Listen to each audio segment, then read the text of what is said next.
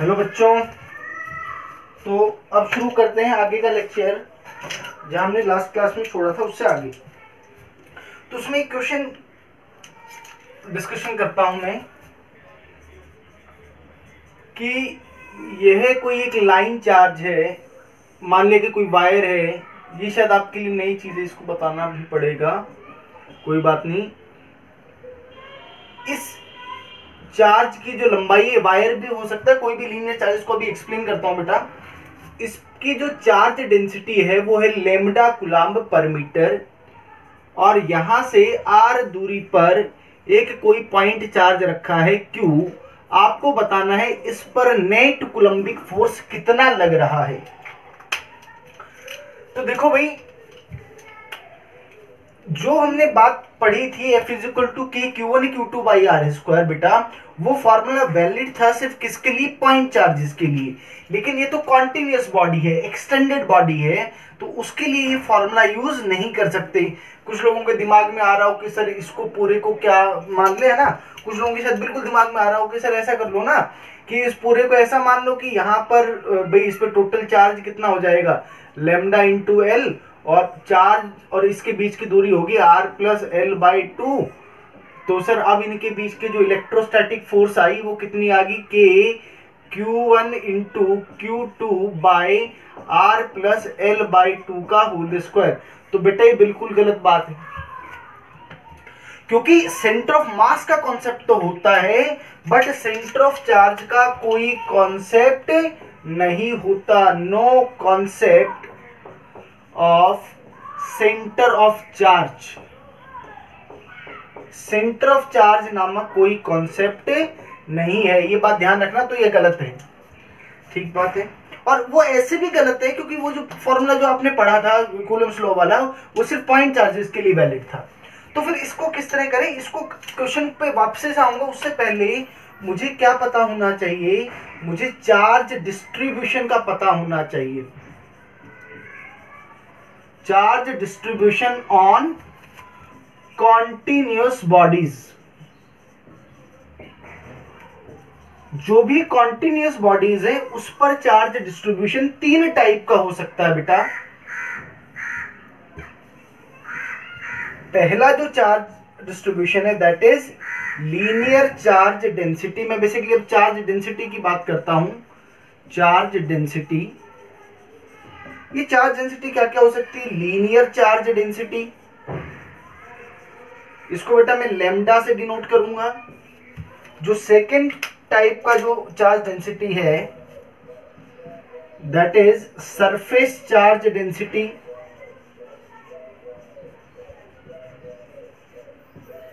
इसको हम डिनोट करूँगा सिग्मा से, और last one is volume charge density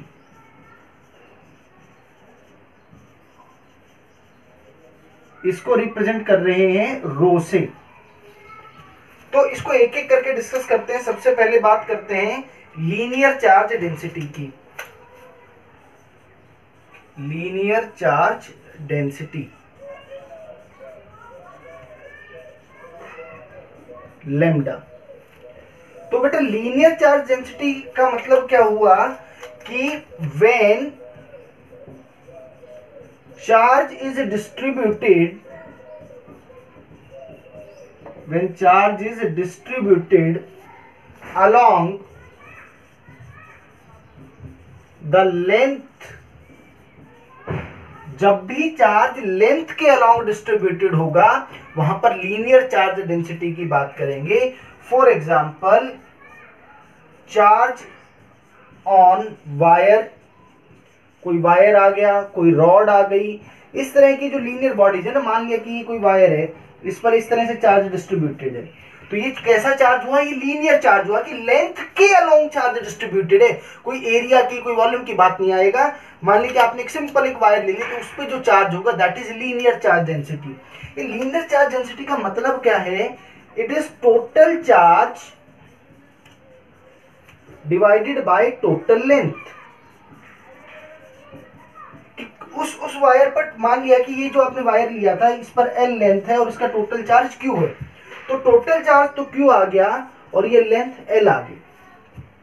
तो बेटा, ये जो चार्ज डेंसिटी है, ये वेरिएबल भी हो सकती है, ये कांस्टेंट भी हो सकती है। तो यहाँ से मैं एक बात बोल सकता हूँ कि इसकी यूनिट तो क्या हो गई?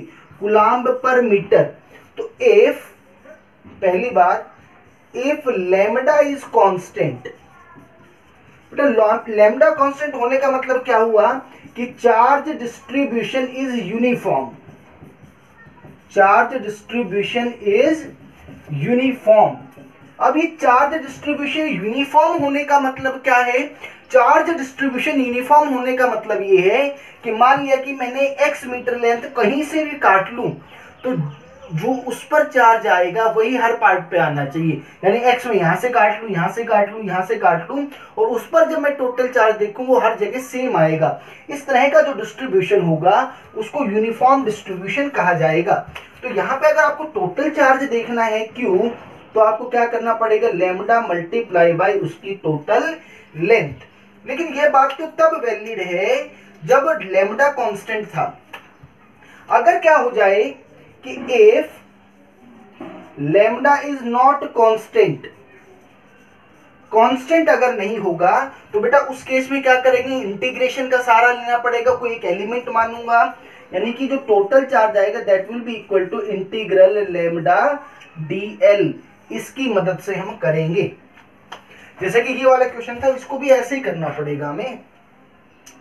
तो टोटल चार्ज आएगा that will be equal to integral lambda D L तो देखो, अभी सरफेस चार्ज और उस पर दोबारा से आएँगे पहले ये वाला जो क्वेश्चन है, जो भी हमने जहाँ से शुरुआत की थी आज की क्लास की, वहाँ पे उस उस क्वेश्चन को एक बार निपटा देते हैं, फिर आगे चलेंगे। देखो, कि मुझे क्या मानना पड़ेगा? एक एलिमेंट मानना पड़ेगा, मैं कहता हूँ कि ये लो, ये मैंने एक छोटा सा एलिमेंट ले लिया जिसकी विर्थ डीएक्स है। और इस पर चार्ज डी क्यू है। इसको यहाँ से आपने एक्स दूरी पर एज्यूम कर लिया। देखो बेटा, ये भी पॉजिटिव चार्ज होगा। अब ये भी पॉइंट चार्ज हो गया ये भी पॉइंट चार्ज हो गया ये वाला जो है, इस चार्ज पर इधर फोर्स लगाएगा df तो यह जो फोर्स डीएफ और ऐसे जितने भी एलिमेंट्स होंगे, सबके जो फोर्स के डायरेक्शन है, वो इधर ही है। तो उसमें कोई दिक्कत नहीं, सीधा इंटीग्रेशन से इंटीग्रेट कर देंगे। DF is equal to K Q into ये D Q divided by X square K Q बेटा इस डी क्यू की वैल्यू क्या होगी? Lambda into D X divided by X square है ना? अभी हमने बात की थी टोटल चार्ज के लिए आपको क्या करना पड़ेगा? यहाँ पे तो यूनिफॉर्म है। Q is equal to lambda into उसकी लेंथ लेमडा और इसकी लेंथ क्या है? डी एक्स तो अब अगर आपको टोटल फोर्स चाहिए तो इसको क्या कर दो? इंटीग्रेट तो के क्यू और लेमडा ये तो सब कांस्टेंट है। D X upon X square F is equal to K lambda Q और वन अपॉन एक्स स्क्वायर का integration minus one upon X और x की वैल्यू जो है वो r से r प्लस एल तक वेरी करेगी। आप कहोगे, सर, ये r से r प्लस एल लिमिट कैसे आई? देखो, आप x को कहाँ से मेजर कर रहे हो? इस चार्ज क्यू पे और इसके एलिमेंट्स पर। तो जो पहला एलिमेंट आप चलते जाओगे, यहाँ नहीं मिला नहीं मिला नहीं मिला, लेकिन जैसे ही आप इस पॉइंट पर पहुंचोगे तो आपको इस रोड पर पहला चार्ज एलिमेंट मिलेगा। यानी कि उस टाइम पे उस x की वैल्यू होगी r फिर आप चलते जाइए चलते जाइए और लास्ट में जब आप यहाँ आ जाएँगे तो वो आखिरी एलिमेंट होगा, जो कि यहाँ से कितनी दूरी पर है? आर प्लस एल पर। तो जो लिमिट्स आएँगी, वो आर से आर प्लस एल की लिमिट्स आ जाएँगी भाई। तो अब F is equal to K lambda Q अच्छा और ये लिमिट्स अगर आप डाल देंगे तो ये वन अपोन और सॉल्व कर लेंगे तो वन अपॉन आर और इस तरह से आ जाएगा। आप चाहो तो इसको ऐसे लिख लो K lambda Q R plus L minus R तो L over R into R plus L यह बेटा फोर्स आ गई है आपकी। यह फोर्स आ गई। ठीक है, इस तरह का क्वेश्चन कर लोगे। इस तरह में बेटा, अब ये भी तो हो सकता है ना कि लेमडा वेरिएबल हो। लेमडा अगर क्या हो जाए वेरिएबल तो उस तरह के क्वेश्चंस को कैसे करेंगे कि इस तरह की चीज़ें आपने इलेवेंथ क्लास के अंदर, चाहे आपने सेंटर ऑफ़ मास में किया हो, चाहे मोमेंट ऑफ़ इनर्शिया निकालने में किया हो, ये सब चीज़ें आप कर चुके फिर भी थोड़ा सा इस क्वेश्चन के थ्रू रिवाइज भी हो जाएगा। मान लो कि ये कोई रॉड है इस पर पॉजिटिव चार्ज इसकी जो चार्ज डेंसिटी है linear charge density that is equal to lambda equals lambda nought X coulomb per metre where lambda nought is constant lambda nought constant है। और एक बात और आपको गिवन होगी क्वेश्चन में, क्या कि x is measured x is measured from any one end of rod ये गिवन होना चाहिए, वरना उससे तो क्वेश्चन में अलग अलग आंसर आएँगे। तो मैं मान लेता हूँ कि देखो बेटा, अब ये बात समझ में आ गई कि lambda is equal to lambda nought X है। यानी कि इस बार जो चार्ज डेंसिटी है, वो कांस्टेंट नहीं है, वो एक्स पर वेरी कर रही है। तो पहले तो इसका मतलब समझिए। देखो जैसे जैसे एक्स बढ़ेगा लेमडा बढ़ेगा। मैं कहता हूँ कि मान लो कि मैं इधर से शुरू करता हूँ, ये मेरे लिए एक्स इक्वल टू ज़ीरो है, और ये टोटल लेंथ एल अगर है तो ये एक्स इक्वल टू एल है। जैसे जैसे एक्स बढ़ेगा लेमडा बढ़ेगा। लेमडा बढ़ने का मतलब क्या होगा कि जो चार्ज की जो वैल्यू है वो बढ़ती जाएगी। यानी कि आप जैसे जैसे इस रॉड के इस एंड से इस तरफ़ आते जाएँगे तो इस रॉड पर जो चार्ज की वैल्यू है ना बेटा, वो वैल्यू बढ़ती हुई चली जाएगी। तो आपसे सवाल में पूछा है कि आपको टोटल चार्ज बताना है इस रोड पर। What is the total charge on this rod तो बड़ा सिंपल सा तरीका है कि मैं यहाँ से बेटा एक्स दूरी पर चल करके एक छोटा सा एलिमेंट एज्यूम कर लेता हूँ। ये एज्यूम कर लिया, जिसकी विथ dx है और इस पर चार्ज dq है। तो आप बेटा dq को कैसे लिखेंगे? dq is equal to lambda into D है ना? इसकी चार्ज डेंसिटी लैमडा और इसकी जो स्ट्रिप की जो लंबाई थी वो dx थी, उससे गुणा कर दिया। तो लैमडा की वैल्यू तो कितनी? लैमडा कांस्टेंट नहीं है ना भाई? लैमडा की value lambda nought X D और टोटल चार्ज अगर आपको निकालना है तो इसको क्या करना पड़ेगा? इंटीग्रेट तो इंटीग्रेट करोगे तो देखिए लेमडा नॉट तो कांस्टेंट आ गया एक्स डी और एक्स ज़ीरो से लेके एल तक चलेगा। तो यहाँ से आप जब इसको सॉल्व करोगे तो आंसर आ गया lambda nought L square by two यह टोटल चार्ज होगा इस रॉड के ऊपर। यह टोटल चार्ज होगा। तो ठीक है बेटा, इस तरह से अगर कोई लीनियर एलिमेंट आ रहा है तो आपको कोई दिक्कत नहीं, आप क्या करेंगे? भाई आपको लेमडा पता हो जाएगा, वो एलिमेंट मान लेंगे एलिमेंट मान करके और फिर उसको इंटीग्रेट कर देंगे। बड़ा ही कॉमन सा तरीका आपने बहुत बार किया हुआ है पहले भी। तो यह लीनियर चार्ज डेंसिटी पे बेस्ड क्वेश्चन था, ऐसे और भी क्वेश्चन हो सकते हैं कुछ भी अलग अलग वैल्यूज़ दे सकते हैं वो। ठीक है? आप चाहो तो मतलब ऐसा और थोड़ा सा बहुत आसान सा सवाल करना अगर चाहो तो आप ऐसे कर सकते हो कि भाई, ये कोई रिंग है जिसका रेडियस आर है और इस पर चार्ज डिस्ट्रीब्यूटेड है, जिसकी चार्ज डेंसिटी है लेमडा कुलाम्ब पर मीटर आपसे कोई ये पूछ सकता है कि टोटल चार्ज कितना होगा इस पर? तो कोई दिक्कत नहीं लेमडा इंटू इसकी टोटल लेंथ कितनी है? टू पाई आर तो ये आंसर आ गया। Two pi r into lambda ठीक है? तो इस तरह से बहुत बेसिक बेसिक से क्वेश्चन है। इस तरह के आप कर सकते हो। किसी क्वेश्चन में आपको टोटल लेंथ दे देगा, उस पर चार्ज पूछ लेगा लेमडा देके कभी टोटल चार्ज और लेंथ दे देगा और फिर लेमडा पूछ लेंगे। तो कोई दिक्कत नहीं। बेटा नोट करो जल्दी से।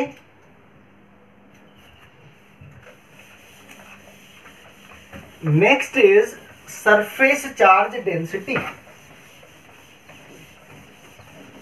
next is surface charge density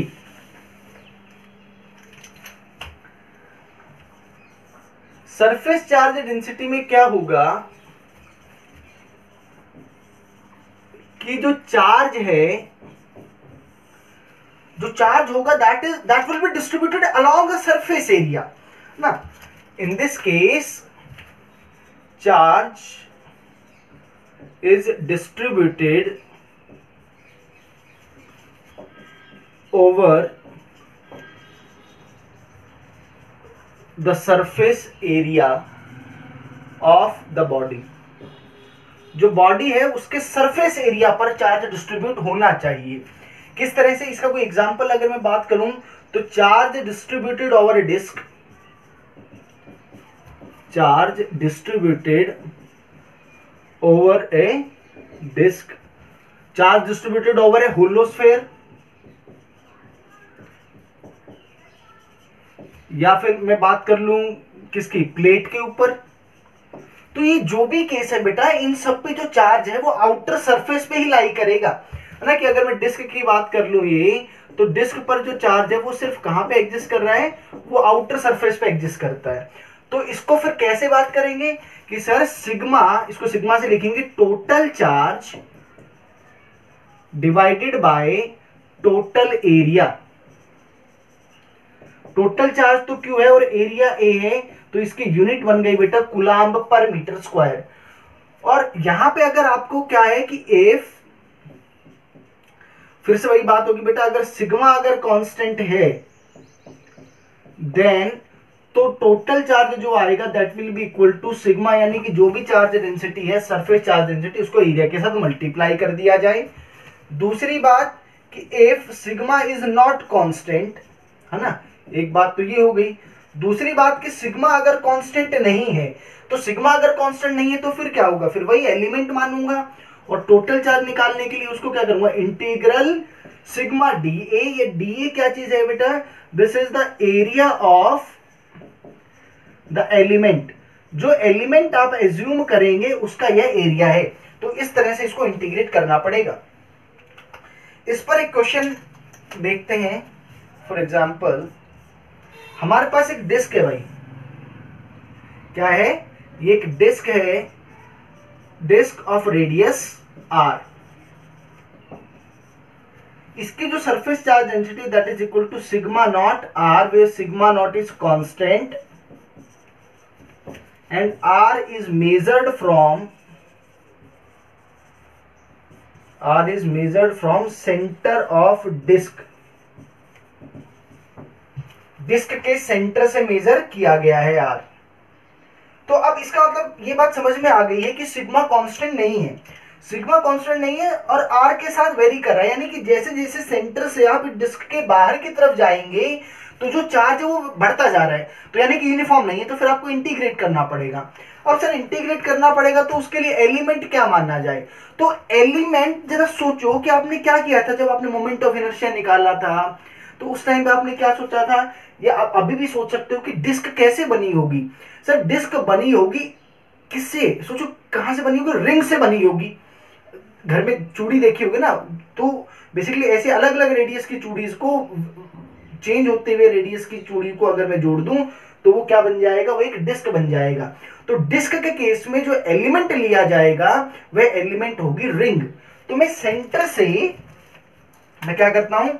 centre से आर रेडियस पर आर रेडियस की एक रिंग एज्यूम कर लेता हूँ। ये रिंग एज्यूम कर ली, ये लो। इस रिंग का जो रेडियस है, वो तो आर ही हो गया। ये तो ये मैं थोड़ा सा डार्क कर देता हूँ ताकि दिखने में आप लोगों को दिक्कत ना हो। तो ये लो जी। होपफुली सभी को लेक्चर समझ में आ रहा होगा, सभी लोग तैयारी कर रहे होंगे अच्छे से। तो भाई, यह रिंग आपने ले ली, जिसकी ये जो मोटाई है, जो विड्थ है, वो कितनी है? वो डी आर है।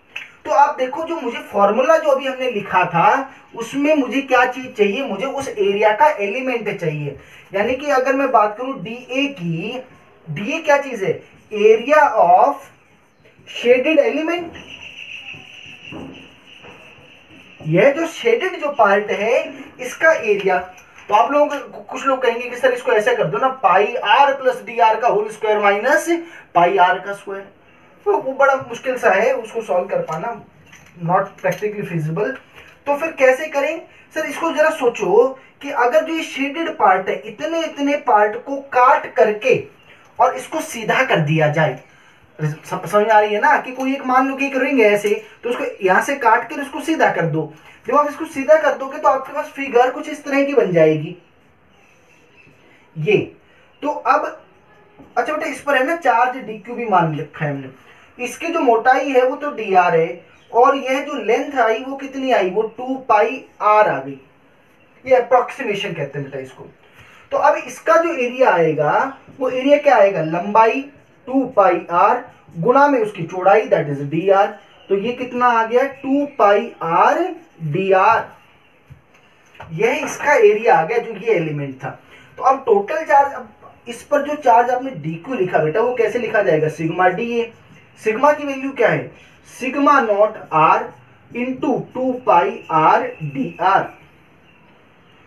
Total charge अगर निकालना है तो इसको क्या करना पड़ेगा? इसको इंटीग्रेट करना पड़ेगा। तो टू पाई सिग्मा नोट, ये तो कांस्टेंट है।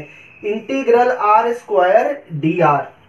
जो आर है वो कहाँ से कहाँ वेरी कर रहा है? वो ज़ीरो से लेके कैपिटल आर तक वेरी कर रहा है। तो जो टोटल चार्ज आया that is two pi sigma nought r square का integration r cube by three और लिमिट से लगा दूँगा तो ये बन जाएगा। तो answer to this question is two by three pi sigma nought r cube यह टोटल चार्ज आएगा इस डिस्क के ऊपर। तो ये variable charge density variable surface charge density का क्वेश्चन तो टोटल चार्ज निकालना है तो एलिमेंट मानेंगे और फिर उसको इस तरह से सॉल्व कर लेंगे। करो नोट करो भाई। बढ़िया क्वेश्चन है ये।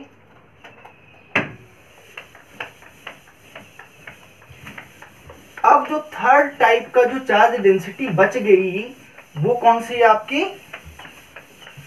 That is volume charge density तो उसकी भी बात कर लेते हैं साथ साथ। वॉल्यूम चार्ज डेंसिटी में क्या होगा कि जो चार्ज है, सभी को आइडिया लगी गया है कि वॉल्यूम चार्ज डेंसिटी में चार्ज जो है that will be distributed along the volume volume charge distribution. Volume charge distribution. तो जो वॉल्यूम चार्ज डिस्ट्रीब्यूशन है, इसमें क्या होगा? Charge is distributed along the volume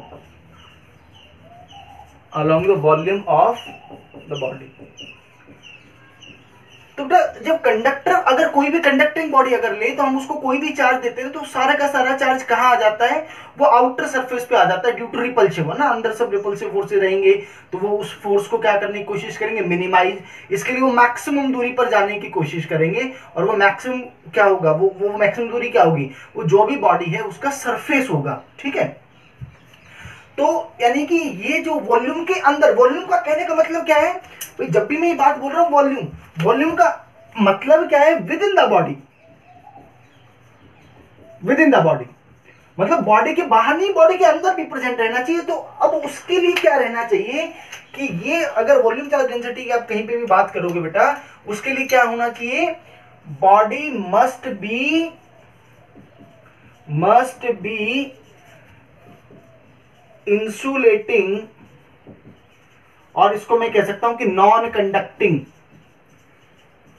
body conducting नहीं होनी चाहिए, तभी बॉडी के अंदर चार्ज एग्जिस्ट करेगा अदरवाइज़ तो आउटर सरफेस पे आ जाएगा। तो जब भी इसका एक एग्जांपल लेते हैं कि solid sphere charge distribution over non conducting solid sphere non conducting solid sphere यहाँ पे एक बहुत काम की बात आप नोट करना बेटा, कि बाय डिफ़ॉल्ट अगर कहीं पे सॉलिड स्फेयर लिखा है तो सॉलिड स्फेयर का मतलब अपने आप में क्या होता है? इंसुलेटिंग स्फेयर ये बात ध्यान रखना, अगर किसी क्वेश्चन में सिर्फ़ सॉलिड स्फेयर लिखा है तो आपको दिमाग में आ सकती है कि सर वो तो कंडक्टिंग भी हो सकता है नॉन कंडक्टिंग भी। तो लेकिन वो बाय डिफ़ॉल्ट जो पैटर्न आ रहा है तो इंसुलेटिंग स्फेयर ही माना जाएगा उसको। तो अब इसको लिखेंगे कैसे? कि sir rho is equal to total charge divided by total volume तो rho is equal to total charge Q? Total volume ये इसकी यूनिट क्या होगी? गुलाम पर मीटर क्यूब। तो यहाँ पे एक बात क्या लिख सकते हैं कि अगर क्या है एफ़ रो इज़ कांस्टेंट अगर रो तो कांस्टेंट है तो उस केस में जो टोटल चार्ज आएगा that will be equal to rho into उसकी वॉल्यूम लेकिन अगर क्या हुआ if rho is not constant तो अगर रो कांस्टेंट नहीं है तो उस केस में टोटल चार्ज निकालने के लिए आपको क्या करना पड़ेगा?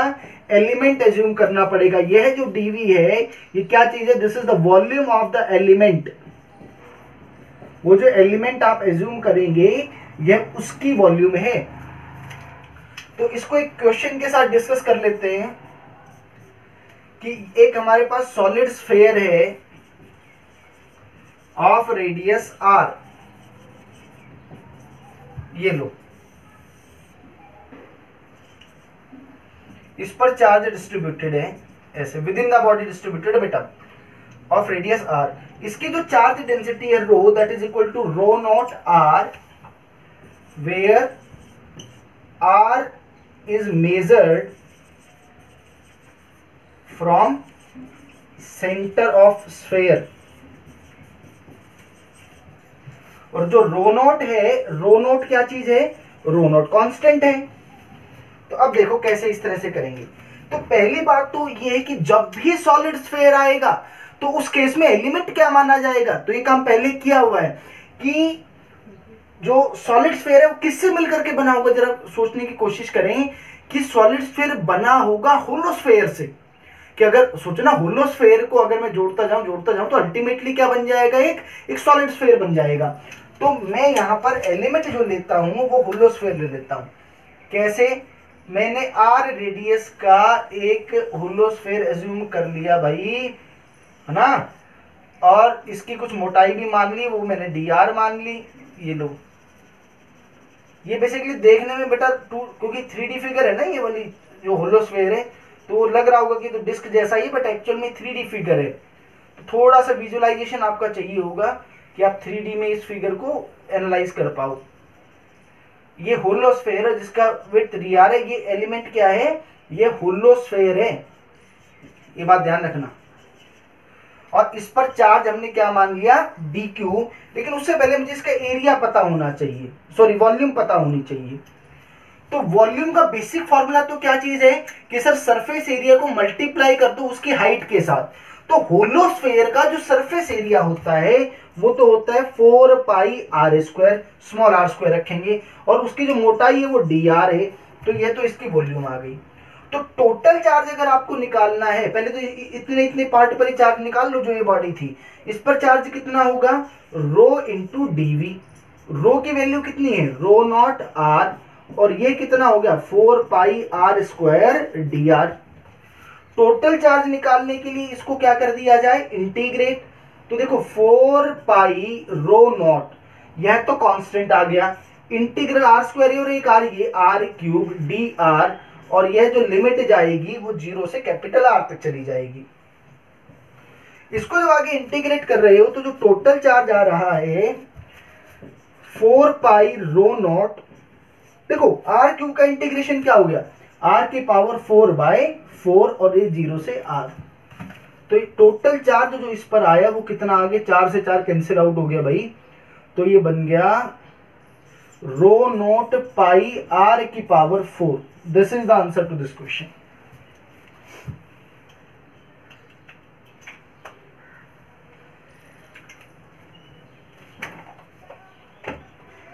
note कर लो। इस पर एक क्वेश्चन और कर लेते हैं। आज सुबह ही मैंने वो क्वेश्चन कहीं देखा था। मुझे ठीक सा लगा तो मैंने कहा कि चलो उसको भी डिस्कस कर ही लेते हैं।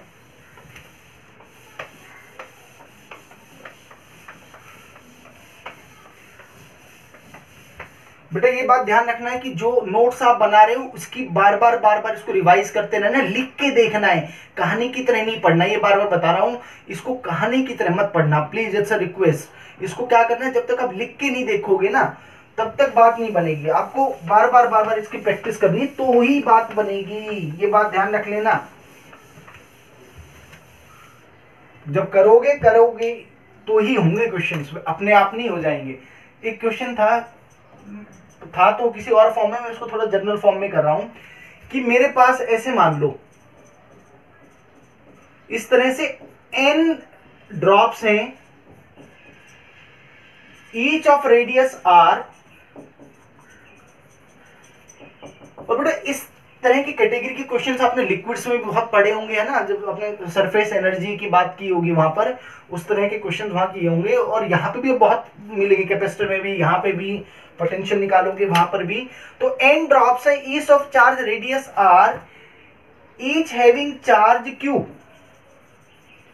each having charge is equal to small Q हर एक पे इतना चार्ज है। अब आपसे पूछा है these N drops are combined to form a single charge और और, और single drop without any loss of charge without any loss of charge charge का किसी तरह से लॉस नहीं हुआ है ना? आपको बताना है compare the charge densities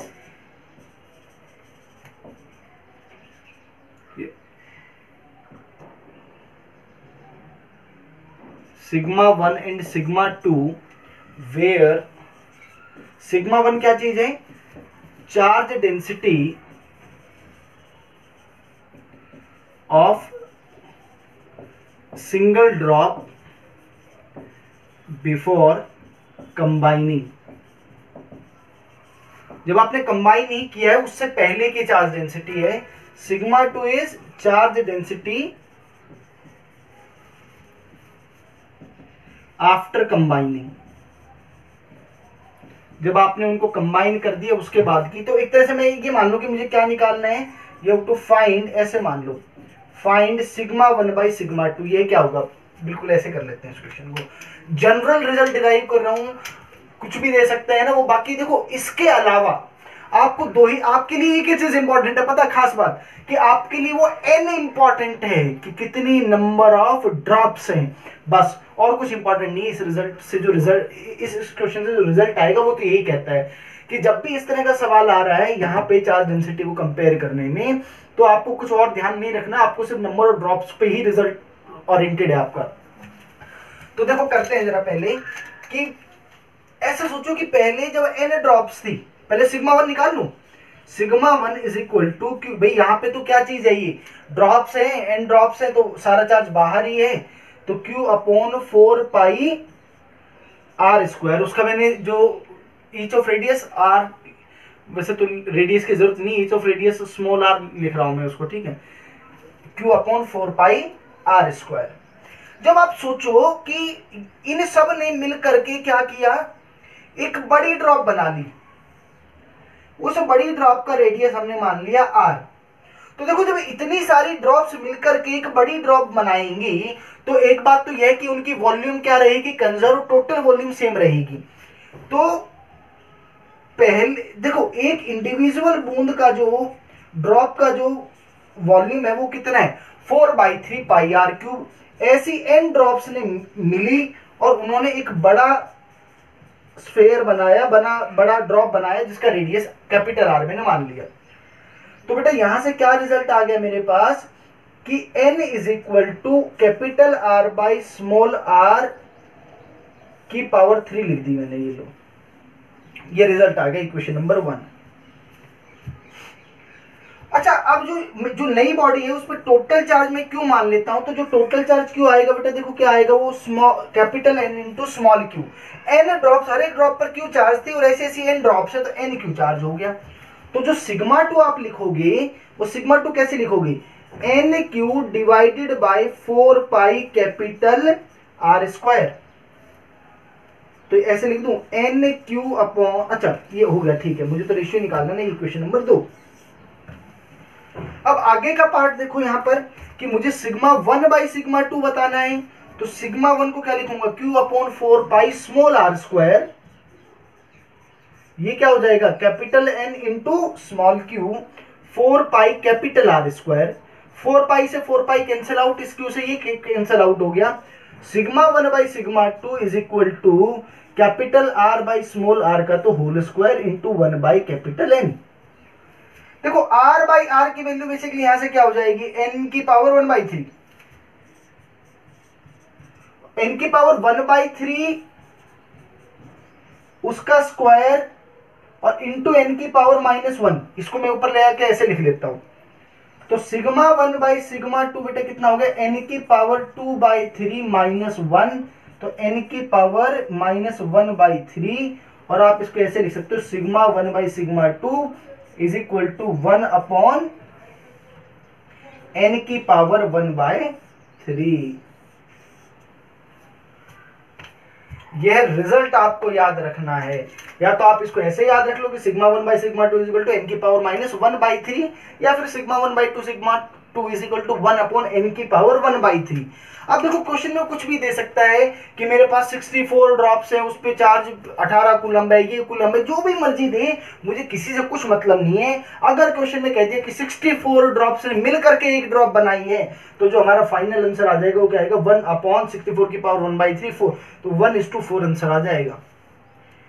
तो इस तरह से, इस तरह इस तरह से क्वेश्चन को करना है। तो जो इस कैटेगरी का क्वेश्चन आएगा, उसमें आपको सिर्फ़ नंबर ऑफ़ ड्रॉप्स पर ध्यान रखना है। नोट कर लो।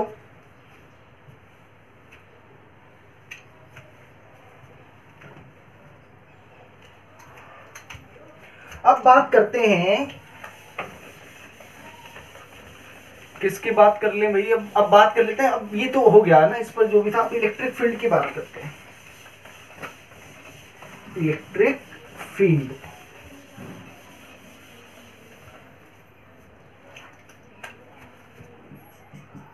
next topic is electric field E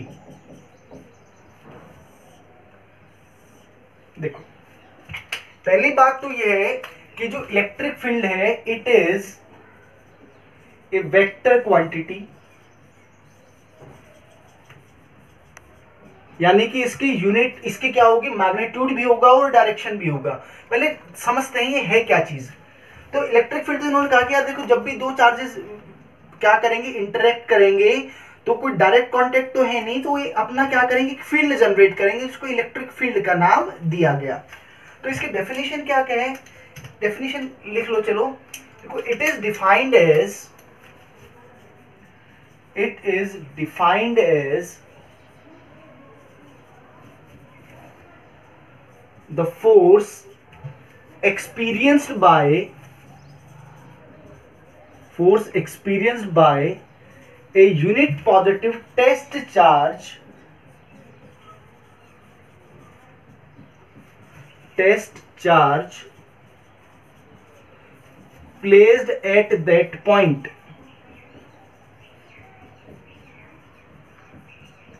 ये तो डेफिनेशन हो गई क्या कहने का मतलब है कहते हैं कि मान लो कि आपको इस पॉइंट P पर चेक करना है कि इलेक्ट्रिक फ़ील्ड कितनी है तो कहते हैं, यहाँ पर यूनिट पॉजिटिव टेस्ट चार्ज लेकर के आओ। टेस्ट चार्ज का मतलब क्या होगा?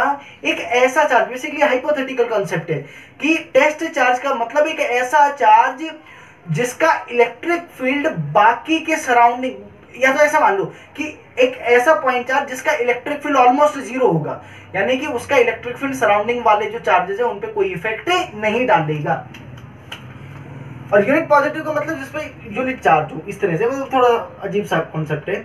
बट बहुत कम ही हो जाएगा डेफिनेशन मुझे पता होनी चाहिए कि यहाँ पर आपने कोई यूनिट पॉजिटिव टेस्ट चार्ज रखा, मान लिया क्यू नॉट और यहाँ पर आप देख लो कितनी फोर्स लग रही है। तो फोर्स पर यूनिट चार्ज ही आपको क्या बताएगा? वहाँ पर electric field E is equal to F by Q naught तो यहाँ से मैं ये भी कह सकता हूँ कि direction of electric field is same as that of force जो फोर्स की डायरेक्शन होगी। लेकिन मुझे चाहिए क्या कि ये जो टेस्ट चार्ज है, ये इसकी वैल्यू बहुत स्मॉल होनी चाहिए अप्रोचिंग टू ज़ीरो तो इलेक्ट्रिक फ़ील्ड को बेसिकली बहुत मैथमेटिकल तरीके से ऐसे डिफाइन करते हैं। Limit Q naught approaches to zero F by Q ये मैथमेटिकल वे में इसको मोर प्रिसाइजली ऐसे हम इसको डिफाइन कर देते हैं। तो कुल मिला के क्या होगा? E is equal to F upon Q तो यहाँ से देखो, इसकी यूनिट क्या आ गई? भाई, इसकी जो यूनिट आएगी एसआई यूनिट वो एक तो यहाँ से समझ में आ रही है कि न्यूटन पर कुलाम, और एक और इसकी यूनिट है that is volt per metre ये आने वाली क्लासेस में बात करेंगे कि वोल्ट पर मीटर कैसे आया। तो इलेक्ट्रिक फ़ील्ड वेक्टर क्वांटिटी है, इसकी डायरेक्शन वही होगी, जो कि उस पर्टिकुलर पॉइंट पर फोर्स की डायरेक्शन होगी। कैसे मेजर किया जाएगा? सर, जिस भी पॉइंट पर आप इलेक्ट्रिक फ़ील्ड देखना चाहते हैं इलेक्ट्रिक फ़ील्ड मेजर करना चाहते हैं, उस पॉइंट पर यूनिट पॉजिटिव टेस्ट चार्ज ला रख दो, और वह जो भी फोर्स उस पर एक्सपीरियंस आप देख जो भी फोर्स वह चार्ज एक्सपीरियंस करेगा वही उस पॉइंट पर इलेक्ट्रिक फ़ील्ड होगा। या सिंपल सी बात कि कोई भी चार्ज ला के रख दो वो जो भी फोर्स आ रही है उस पर उसको उसके मैग्नीट्यूड से डिवाइड कर दो। किसके मैग्नीट्यूड से? चार्ज के मैग्नीट्यूड से। तो वो उस, उस पॉइंट का क्या आ जाएगा? वो इलेक्ट्रिक फ़ील्ड आ जाएगा। और इसके ऐसा यूनिट न्यूटन पर गुलाम या वोल्ट पर मीटर हो गई। यह बात होगी किसकी बेटा? इलेक्ट्रिक फ़ील्ड की। तो यहाँ पे अगर मैं बात देखूँ कि अभी हमने एक बात लिखी, इसको ऐसे लिख लेते हैं कि force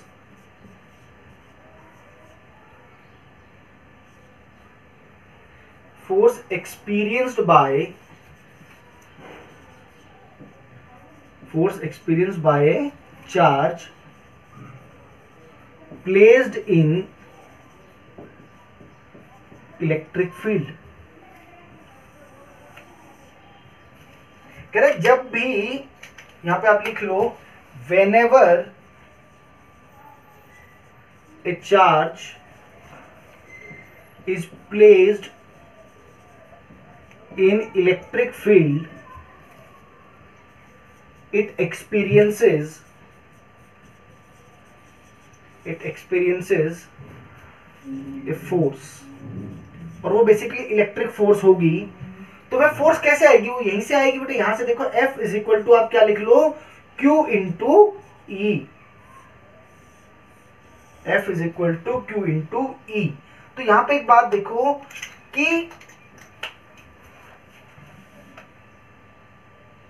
एक बात ध्यान रखने की ज़रूरत है कि इफ़ चार्ज इज़ पॉजिटिव अगर चार्ज पॉजिटिव है तो बेटा फोर्स कैसे लगेगी? जरा यहाँ पे देखो। ये मान लो कि यह इलेक्ट्रिक फ़ील्ड की डायरेक्शन है, ये क्यू चार्ज है प्लस क्यू चार्ज इस पर फोर्स की डायरेक्शन देखना है। तो F is equal to Q into E यानी कि एफ़ की डायरेक्शन और ई e की डायरेक्शन क्या रही? Same so if charge is positive force on charge is along the direction of along the direction of electric field. कह रहे कि अगर चार्ज पॉजिटिव है तो फोर्स की डायरेक्शन उसी डायरेक्शन में होगी, जिस डायरेक्शन में इलेक्ट्रिक फ़ील्ड है। यानी कि यह फोर्स होगी F is equal to Q तो ये बात ध्यान रखनी है कि चार्ज अगर पॉजिटिव है तो इलेक्ट्रिक फ़ील्ड और फोर्स दोनों की डायरेक्शन क्या आएगी? सेम उसका मैग्नीट्यूड क्यू इंटू ई आएगा। इसमें दूसरा पार्ट कि अगर क्या हो if charge Q is negative if charge Q is negative तो चार्ज क्यू नेगेटिव होने का मतलब क्या हुआ? फोर्स को आप कैसे लिखोगे? F is equal to minus of Q into E और you can write minus of Q E इसका मतलब क्या हुआ? कि direction of E and F direction of E and F are opposite electric field और फोर्स की direction क्या है? ऑपोजिट तो कैसे रिप्रेजेंट करेंगे इसको? इसको इस तरीके से रिप्रेजेंट करेंगे भाई। अगर यह इलेक्ट्रिक फ़ील्ड की डायरेक्शन है, ये तो इलेक्ट्रिक फ़ील्ड है। अगर आपने यहाँ पर कोई एक नेगेटिव चार्ज रख दिया, ये नेगेटिव चार्ज तो इस पर जो फोर्स की जो डायरेक्शन आएगी, वो इलेक्ट्रिक फ़ील्ड की डायरेक्शन से ऑपोजिट आएगी और मैग्नीट्यूड क्यू इंटू ई ही रहेगा। तो बेटा ये बात ध्यान रखने की ज़रूरत है कि अगर चार्ज पॉजिटिव है तो इलेक्ट्रिक फ़ील्ड की डायरेक्शन और फोर्स की डायरेक्शन सेम रहेगी। अगर चार्ज नेगेटिव है तो इलेक्ट्रिक फ़ील्ड की डायरेक्शन और फोर्स की डायरेक्शन आपस में ऑपोजिट रहेंगी। क्लियर है ये? अब इस पे बेस्ड कुछ क्वेश्चन हम करते हैं। देखिए नोट कर लो।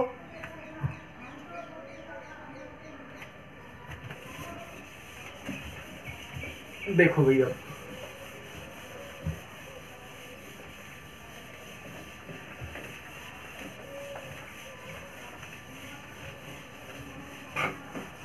ये देखते हैं जरा। चलो इस पर ना एग्ज़ाम्पल एक ही क्वेश्चन में करता हूँ। ये बेसिक है क्या चीज़? कैपेसिटर प्लेट है ये। वो पॉजिटिव और ये नेगेटिव है तो इस रीजन के अंदर यूनिफॉर्म इलेक्ट्रिक फ़ील्ड है और वो पॉजिटिव से नेगेटिव की तरफ़ ही होता है। वो ये है। अब हमने सिमेट्रिकली और इस प्लेट की दूरी क्या है? इस प्लेट की लंबाई है एल हमने यहाँ से एक चार्ज पार्टिकल जिसका मास एम है सिमेट्रिकल पोजीशन से। वी नॉट वेलोसिटी से क्या कर दिया इसको? प्रोजेक्ट कर दिया। अब हमें दो चीज़ें बतानी है। एक तो यह बताना है कि इसका पाथ क्या होगा। पहला पार्ट तो यही कर लेते हैं कि पहले इसका ये देख लेते हैं पाथ क्या होगा। अच्छा ये जो चार्ज है ना, इसको ये मान लो कि ये इलेक्ट्रॉन है, ये ज़्यादा बढ़िया रहेगा। क्या मान लिया मैंने कि यह इलेक्ट्रॉन है? अब देखो, और यहाँ पे आपको एक बात और कि we have to neglect gravity gravity को भी नेग्लेक्ट कर रहा हूँ। तो ये जो चार्ज पार्टिकल है, जैसे ही इलेक्ट्रिक फ़ील्ड में आएगा तो भाई क्या होगा? ये नेगेटिव चार्ज है और इलेक्ट्रिक फ़ील्ड इधर है तो इस पर ऊपर की डायरेक्शन में एक फोर्स लगना शुरू हो जाएगा, Q इंटू ई क्या होगा? ऊपर की डायरेक्शन में एक फोर्स लगना शुरू हो जाएगा that is Q into E तो इस मोशन को अगर देखा जाए तो ये टू डायमेंशन मोशन हो गया। तो मैं कहता हूँ कि यह जो एक्सिस है, वो तो एक्स मान लेता हूँ और ये जो एक्सिस है, इसको वाई मान लेता हूँ। तो एक इसको कैसे तोड़ लो? एक एक्स एक्सिस के अलॉन्ग मोशन देख लो और वाई एक्सिस के अलॉन्ग मोशन देख लो। एक्स एक्सिस के अलॉन्ग अगर इस पार्टिकल की इनिशियल वेलोसिटी देखूँ तो वो कितनी है? वो वी नॉट है। वाई एक्सिस के अलॉन्ग कोई इनिशियल वेलोसिटी नहीं दी गई है। दूसरी बात कि एक्स एक्सिस के अलोंग कोई फोर्स नहीं लग रहा है। देखो, ये जो मैं काम कर रहा हूँ, ये सारा अगर आपने टू डायमेंशन मोशन में प्रोजेक्टाइल मोशन में किया हुआ है। एक्स एक्सिस के along acceleration zero Y axis के अलोंग एक्सेलरेशन पॉजिटिव डायरेक्शन में ही है। तो वो एक्सेलरेशन कितनी होगी भाई? मुझे लगता है फोर्स तो कितना लग रहा है? क्यू इंटू ई और उसको उसके मास से डिवाइड कर दिया। यह एक्सेलरेशन आ गया अलोंग वाई एक्सिस अब आगे बात करूँ कि एक्स एक्सिस के अलोंग अगर एक्सेलरेशन नहीं है तो किसी भी टाइम पर, हर टाइम पर स्पीड क्या रहेगी? स्पीड इज़ कांस्टेंट यानी कि उसकी स्पीड को बदलने वाला कोई फैक्टर है ही नहीं। स्पीड कांस्टेंट है तो ये जो मोशन होगा, ये कैसा मोशन हो जाएगा? यूनिफॉर्म मोशन और आप किसी भी टाइम पर उस पार्टिकल का, मान लो कि किसी भी टाइम पर आप उस पार्टिकल का एक्स कोऑर्डिनेट देखना चाहते हो तो एक्स कोऑर्डिनेट क्या हो जाएगा? यू एक्स इंटू टी तो x is equal to U X की जगह क्या आप लिख दोगे? V नॉट इंटू टी ये एक बात आ गई। अब वाई एक्सिस के अलोंग मोशन अगर देखें तो वाई एक्सिस के अलोंग ये जो एक्सलेशन है, बेटा ई बी कॉन्स्टेंट है क्यू बी कॉन्स्टेंट है एम बी कॉन्स्टेंट है तो ये एक्सलेशन कॉन्स्टेंट है। और एक्सलेशन कॉन्स्टेंट है तो ये मोशन कैसा हो गया? यह मोशन हो गया यूनिफॉर्म एक्सलरेटेड मोशन और यूनिफॉर्म एक्सेलरेटेड मोशन है तो उसकी तीनों इक्वेशन मैं जानता हूँ। मैं किसी भी टाइम पर इसका वाई कोऑर्डिनेट अगर देखना चाहूँ तो मुझे कैसे लिखना पड़ेगा? U Y T plus half of A Y T का स्क्वायर अब इनिशियल वेलोसिटी तो कुछ थी नहीं तो यह फैक्टर तो ज़ीरो हो गया। हाफ़ ऑफ़ ए वाई कितना है? Q E by M into T का स्क्वायर ये बात समझ में आ गई। अच्छा मैं यहाँ पे अगर किसी भी टाइम पे वेलोसिटी निकालना चाहूँ, बेटा वाई एक्सिस के अलोंग तो वो क्या आएगा? U Y plus A Y into T V equal to U plus A T तो किसी भी टाइम पर ए वाई तो ज़ीरो हो गया और ए वाई कितना है? यू वाई ज़ीरो हो गया ए वाई कितना है? Q E by M into T यहाँ पे किसी भी टाइम पर वेलोसिटी क्या रहेगी? कांस्टेंट रहेगी स्पीड कांस्टेंट रहेगी। ये बात समझ में आ गई? तो अगर मैं, अब इसमें सबसे पहले क्या कर लेता हूँ? इक्वेशन ऑफ़ ट्रेजेक्ट्री निकालते हैं। Equation of trajectory equation of trajectory का मतलब कि इसका पाथ क्या होगा? तो इक्वेशन ऑफ़ ट्रेजेक्ट्री आप जब भी निकालें तो that equation must be in the form of X and Y and it must be independent of T माने कि टी की कोई फैक्टर उसमें नहीं होना चाहिए, वो सिर्फ़ एक्स और वाई के बीच में रिलेशन बताएगी। तो इस तरह के जो भी क्वेश्चन होंगे, उसमें हम क्या करेंगे? दो इक्वेशन होंगी हमारे पास। इन दोनों इक्वेशन में से किसी एक इक्वेशन से टी की वैल्यू को सब्सटीट्यूट कर दो दूसरी इक्वेशन में। तो पहली वाली जो इक्वेशन है, यहाँ से बेटा टी की वैल्यू आ गई है एक्स अपॉन वी नॉट इस वैल्यू को इक्वेशन नंबर टू में सब्सिट्यूट कर रहा हूँ। तो y is equal to half of Q E by M into T का square that is X by V naught का स्क्वायर तो y इज़ इक्वल टू आ गया half of Q E by M और ये इधर ले आया वी नोट का square into x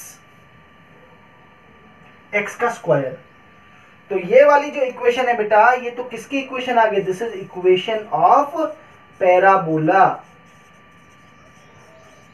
equation of parabola यानी कि जो पार्टिकल है, वो क्या पार्ट फॉलो करेगा? इट फॉलोज पैराबोलिक पाथ ये जो सारा का सारा मोशन था बेटा it is similar to projectile ये सारा का ऐसा ही होता है ना प्रोजेक्टाइल में वहाँ पे एक्सेलरेशन क्या होती है यहाँ पे? जी जी रखते हो आप उसको। यहाँ पे क्यू बाई एम है। तो बाकी सारा सेम है, ये इक्वेशन आ गई किसकी? सॉरी इक्वेशन ऑफ़ ट्रेजेक्ट्री आ गई which is equation of a parabola एक इसमें ये सवाल भी पूछा हुआ है। तो ये बात समझ आ गई कि पार्टिकल का जो पाथ है, वो कुछ इस तरह से रहेगा और ये ऐसे करता करता करता करता और ऐसे निकल जाएगा ये कहीं। तो उस टाइम पे आपसे पूछा है कि जब भी ये बाहर निकलेगा, ज़रूरी नहीं यहाँ से निकले, कहीं से भी निकले तो उस टाइम पे ये एंगल ऑफ़ डेविएशन कितना होगा? एक सवाल ये भी पूछा हुआ है कि एंगल ऑफ़ डेविएशन क्या होगा?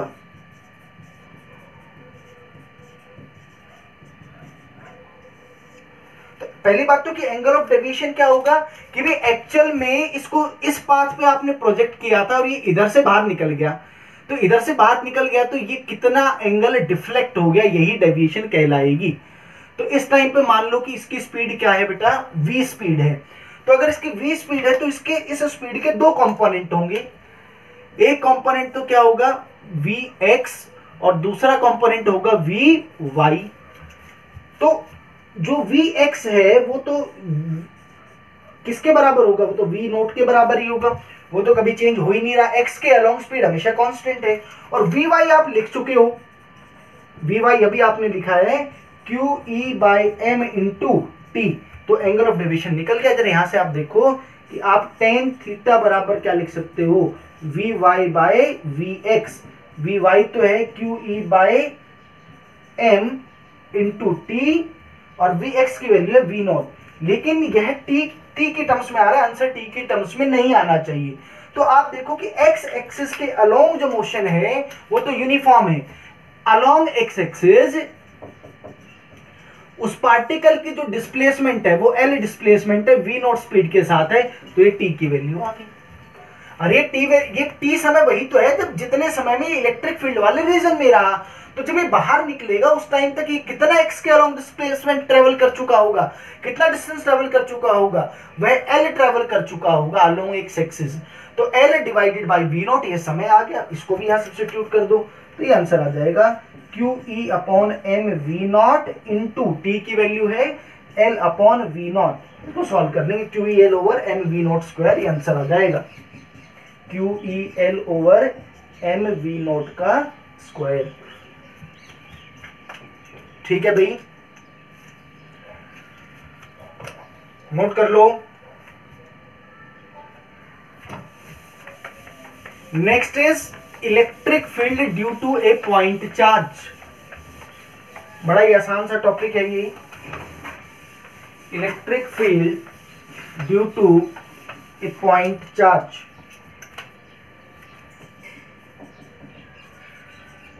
due to a point charge मान लिया कि कोई क्यू चार्ज है, इसके कारण से आप आर दूरी पर यहाँ पर क्या देखना चाह रहे हो? इलेक्ट्रिक फ़ील्ड तो हमारी डेफिनेशन क्या है कि आप इस पॉइंट पर क्या लेकर के आओ? एक यूनिट टेस्ट चार्ज लेकर के आओ।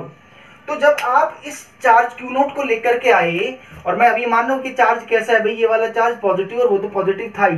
तो यह इसको रिपेल करेगा विद ए फोर्स एफ़ तो वो जो एफ़ की वैल्यू आएगी, वो क्या आएगी? K Q Q naught by R square ठीक है? तो बाय डेफिनेशन इलेक्ट्रिक फ़ील्ड कैसे लिखा जाएगा? एफ़ डिवाइडेड बाय वहाँ पर जो चार्ज को लेकर के आए, उससे डिवाइड कर दो। तो E is equal to force कितना है?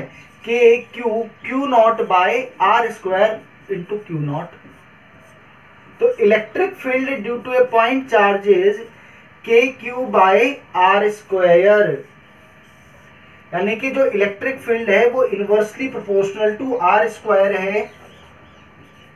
यानी कि इलेक्ट्रिक फ़ील्ड और आर के बीच में ग्राफ बनाओगे तो इस तरह का रेक्टेंगुलर ये one by R square type का ग्राफ इस तरह का आएगा। आप चाहो तो इसको, देखो यहाँ से एक बात क्या कह सकते हो कि अगर ये चार्ज पॉजिटिव था तो इलेक्ट्रिक फोर्स इधर लगी तो इलेक्ट्रिक फ़ील्ड भी इधर आया। अगर चार्ज नेगेटिव होगा तो फोर्स इधर होगी तो इलेक्ट्रिक फ़ील्ड की डायरेक्शन भी इधर ही आएगी।